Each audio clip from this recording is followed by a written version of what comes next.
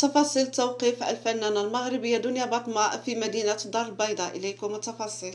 أفادت مصادر مطلعة بأن عناصر الشرطة القضائية أوقفت المغنية دنيا بطمة بمنزل صديقة لها وسط الدار البيضاء بعدما تعذر العثور عليها في منزلها بمراكش أو ضواحي العاصمة الاقتصادية. فوفق المصادر ذاتها فقد جرى التنسيق بين الشرطة القضائية بمراكش ونظيرتها بالدار البيضاء من أجل توقيف المعنية بالأمر حيث تم التأكد من عدم وجودها بمدينة الحمراء. كشفت مصادر مطلعة أن المغنية غادرت بيتها في ضواحي الدار البيضاء فور علمها بكون الشرطة تبحث عنها واستقرت بمنزل إحدى صديقاتها حيث قضت الليلة هناك.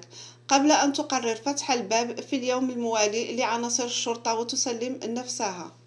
وأشارت المصادر نفسها إلى أن الشرطة أوقفت أيضا زوج صديقة دنيا بطمة على اعتبار أنه مالك البيت واستمعت إليه قبل أن يغادر مقر الأمن.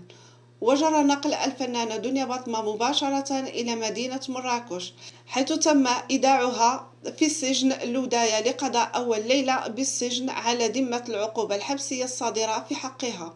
وكانت محكمة الاستئناف بمراكش رفعت خلال شهر يناير من سنة 2021 العقوبة بالابتدائية الصادرة في حق المغنية دنيا باطمة إلى سنة حبسا نافذة وغرامة قدرها عشرة آلاف درهم.